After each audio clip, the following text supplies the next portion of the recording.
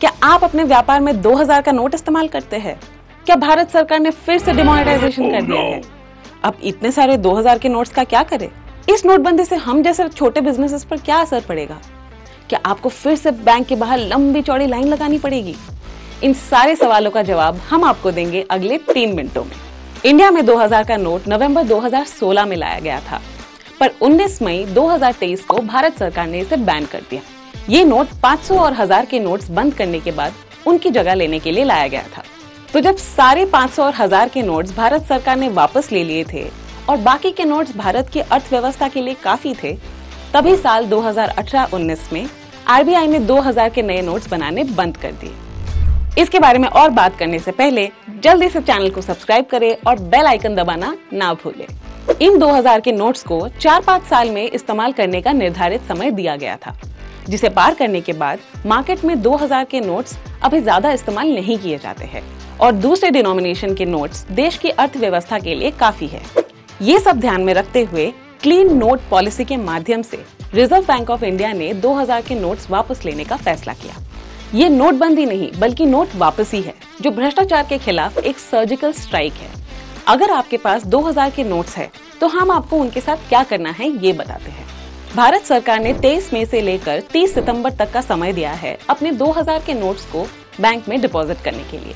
आप किसी भी बैंक में एक बार में बीस हज़ार रूपए यानी 2000 के 10 नोट्स ही वापस कर सकते हैं। आप अपने नोट्स बैंक में जमा करके दूसरे नोट्स एक्सचेंज में ले सकते हैं।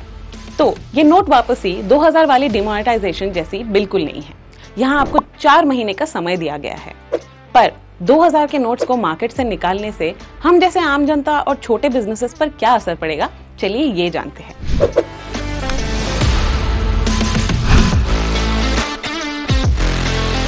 दो हज़ार के नोट्स की कीमत, जो आज देश भर में इस्तेमाल हो रही है, वो साढ़े तीन लाख करोड़ है, जो भारत के करेंसी सर्कुलेशन का 10.8 परसेंट है, जबकि 2016 में डीमोनेटाइजेशन के वक्त 500 और हज़ार के नोट्स की संख्या 86 परसेंट थी।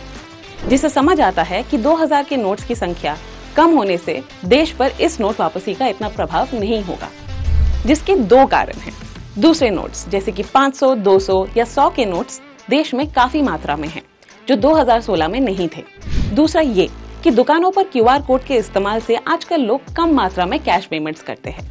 भारत के पूर्व chief economic adviser Krishnamurthy Subramanian ने 2000 के नोट बैन की घोषणा पर ये कहा है कि आम आदमी पर इस नोट वापसी का इतना असर नहीं होगा, क्योंकि आजकल लोग डिजिटल ट्रांजैक्शंस का काफ़ी इस्तेमाल करते हैं। युविका सिंगल, जो क्वांटिको रिसर्च में एक इकोनॉमिस्ट है, उन्होंने कहा है कि एग्रीकल्चर, कंस्ट्रक्शन जैसे सेक्टर्स के छोटे बिजनेसेस को इस नोट वापसी के कारण कुछ समय के लिए थोड़ा कष्ट, जैसे कि लेन देन में रुकावट, हो सकती है।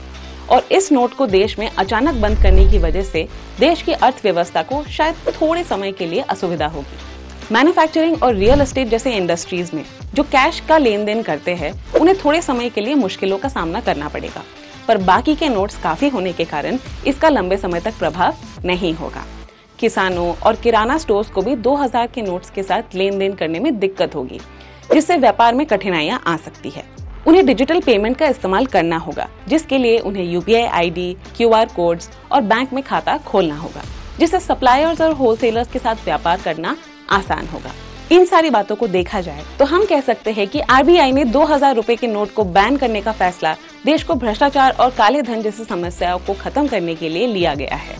इससे हमें कुछ समय के लिए थोड़ी समस्या तो ज़रूर होगी पर बढ़ते डिजिटल ट्रांजैक्शन और छोटी संख्या वाले नोट्स देश में काफ़ी होने की वजह से हम जैसे आम आदमी पर उतना असर नहीं पड़ेगा। फिर भी हम आपको यही सलाह देंगे कि आप आरबीआई की बात माने और तुरंत बैंक में अपने 2000 के नोट्स को जमा कर दें। तो आज के लिए बस इतना ही। हमें कमेंट सेक्शन में ज़रूर बताइए कि आप अगली वीडियो किस विषय पर देखना चाहते हैं। सी यू नेक्स्ट टाइम नमस्ते।